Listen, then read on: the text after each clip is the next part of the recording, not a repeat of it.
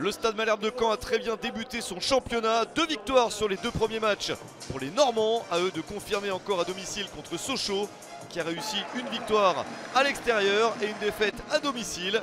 Les Sochaliens vont donc essayer de retrouver les vertus qu'ils avaient eues lors du premier match de la saison. Ils ont réussi à s'imposer sur le terrain de Dijon. Début de partie assez équilibré. Ballon pour Sochaux. Une ouverture longue. La défense canaise se dégage mal. Et la reprise de Gaëtan Weisbeck le capitaine de Sochaux. Tire à côté, c'était une bonne première tentative pour les visiteurs. réaction des Canets, ballon récupéré. Puis cette frappe, ballon repoussé par Prévost. Pas assez de danger sur ce tir de Johan Cour.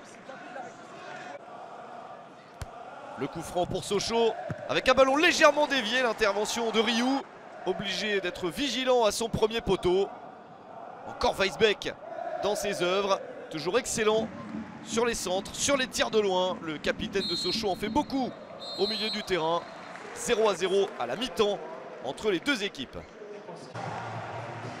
Personne n'a réussi à marquer dans ce match relativement ouvert, assez peu d'opportunités. Les occasions nettes arrivent en seconde période. Avec dès le retour du vestiaire, toujours une bonne attitude sochalienne.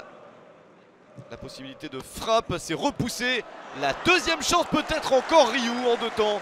Le gardien canet se saisit du ballon. Les joueurs de Stéphane Moulin ont tendance à reculer. Et trouve ici une possibilité énorme. Quelle occasion pour le Stade Malherbe de Caen avec Alexandre Mendy, le meilleur buteur depuis le début de la saison. Avec notamment son triplé initial lors du premier match. Mais c'est sauvé par Prévost. Nouvelle attaque sochalienne. La balle sur le côté pour ce centre et la reprise au premier poteau d'Aldo Kaloulou.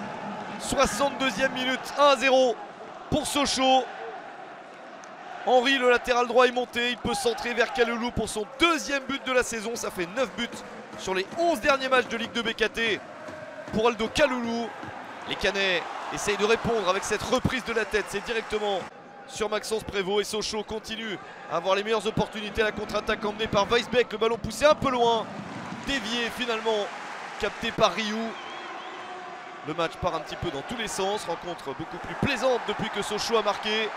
La balle pour Caen, c'est enroulé et c'est un but magnifique. Il est signé Andreas Utonji à la 90e minute. Le premier but de la saison pour Utonji.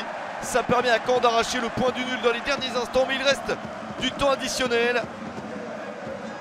Et Sochaux réussit à transpercer l'arrière-garde canaise pour reprendre l'avantage. Quelle fin de match 2 buts 1 pour Sochaux grâce à Alan Virginius, son deuxième but de la saison.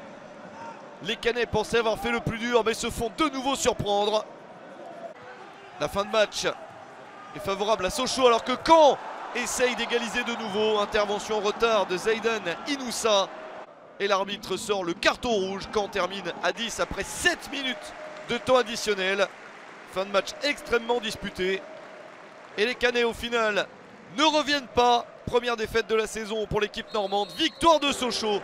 2 buts 1 sur le terrain de Caen.